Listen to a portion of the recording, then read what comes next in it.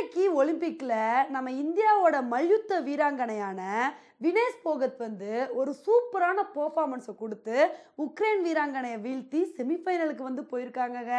இன்னைக்கு நம்ம வீடியோவில் இந்த விஷயத்தை பற்றி தான் வந்து பார்க்க போகிறோம் இன்னைக்கு நம்மளோட மல்யுத்த வீராங்கனையான வினேஷ் போகத் வந்து ஸ்டார்டிங் ரவுண்ட்லேருந்தே நல்ல ஒரு பர்ஃபார்மன்ஸ் வந்து கொடுத்தாங்க. இதில் முக்கியமான விஷயம் என்ன அப்படின்னா ஜப்பான் நாட்டு வீராங்கனையான யுவி சுசாக்கியை வந்து வீழ்த்தினது தாங்க ஏன்னா இவங்க வந்து சாதாரண வீராங்கனை கிடையாது. போன தடவை ஒலிம்பிக்கில் வந்து கோல்டு மெடலை வின் பண்ணியிருக்காங்க பத்தாவதுக்கு நாலு தடவை வேர்ல்ட் சாம்பியனாக வந்திருந்திருக்காங்க. இவங்களை வந்து பார்க்கும்போது இவ்வளோ பெரிய பிளேயரை போய் நம்ம இந்தியன் பிளேயர்னால வீழ்த்த முடியுமா? இந்த ஒரு ரவுண்டில் வின் பண்ணுறது கஷ்டம் அப்படின்னு தான் நம்ம நினச்சிட்டு இருந்தோம். அதுக்கு தகுந்தாப்புல தாங்க ஸ்டார்டிங்லேருந்து கடைசி வரைக்கும் அந்த ரவுண்ட் வந்து போச்சு.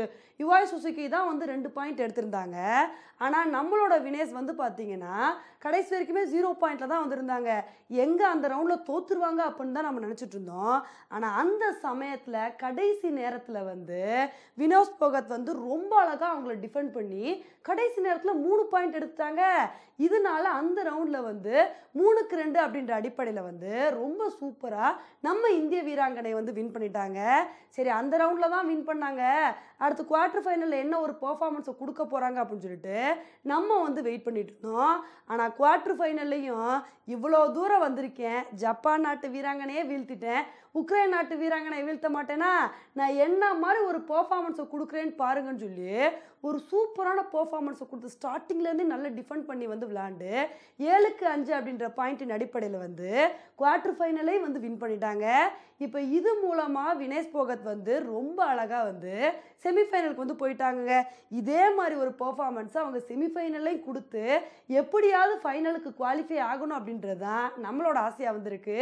உண்மையிலே இன்னைக்கு அவங்க விளாண்ட விதத்தை பார்க்கும்போது நமக்கு டக்குன்னு என்ன ஞாபகம் வந்துச்சு அப்படின்னா தங்கல் படத்தை அப்படியே திரும்ப பார்த்த மாதிரி தாங்க வந்துருந்துச்சு.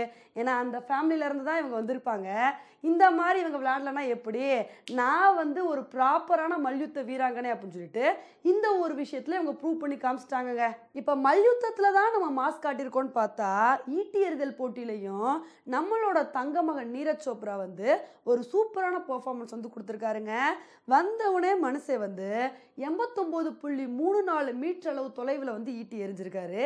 இதனால இவர் ஃபைனலுக்கு குவாலிஃபை ஆகிட்டாருங்க ஃபைனலில் இதே மாதிரி ஒரு பர்ஃபார்மன்ஸை கொடுத்தான்னு வச்சுக்கோங்களேன்.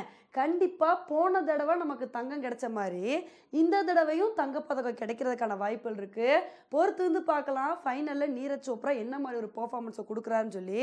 இது மட்டும் இல்லாமல் நம்ம இந்தியன் ஹாக்கி டீம் வந்து செமிஃபைனலுக்கு வந்து குவாலிஃபை ஆகிட்டாங்க அந்த மேட்ச் வந்து இன்னைக்கு ஜெர்மனி கூட வந்து நடக்க போகுது. அவங்களும் எப்படியாவது நல்ல ஒரு பர்ஃபார்மன்ஸை கொடுத்து ஃபைனலுக்கு போகணும் அப்படின்றது தான் நம்மளோட ஆசையாக வந்திருக்கு. பொறுத்திருந்து பார்க்கலாம். நம்ம இந்திய வீரர்கள் வீராங்கனைகள் வந்து ஒலிம்பிக்கில் என்ன மாதிரி சாதனைகளை வந்து படைக்கிறாங்க? இன்னும் எத்தனை பதக்கங்களை வந்து நமக்கு வாங்கி கொடுக்குறாங்கன்னு சொல்லி. ஓகே ஃப்ரெண்ட்ஸ் இந்த ஒரு விஷயத்தை பற்றி நீங்கள் என்ன நினைக்கிறீங்க அப்படின்றத என்னோட கமெண்ட் செக்ஷனில் வந்து போடுங்க. இதே மாதிரி இன்னொட்டில் உங்களை வந்து மீட் பண்ணுறேன் பை ஃப்ரெண்ட்ஸ்